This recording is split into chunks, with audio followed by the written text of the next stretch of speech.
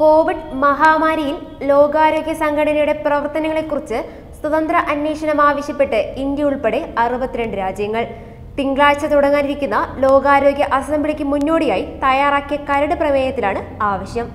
Corona virus പ്രതിസന്ധിയെക്കുറിച്ചും നിഷ്പക്ഷവും സ്വതന്ത്രവും സമഗ്രവുമായ അന്വേഷണവും കൂടാതെ ലോകാരോഗ്യ സംഘടനയുടെ നടപടിയെക്കുറിച്ച് കോവിഡ് കാലത്ത് അവരുടെ പ്രവർത്തനങ്ങളെക്കുറിച്ചും അന്വേഷണം വേണമെന്നും പ്രമേയത്തിൽ പറയുന്നു.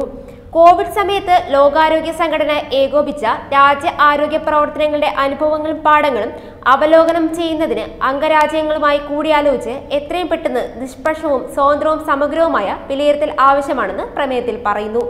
ഓസ്ട്രേലിയയും യൂറോപ്യൻ യൂണിയൻ രാജ്യങ്ങളും പ്രമേയത്തെ പിന്തുണച്ചു.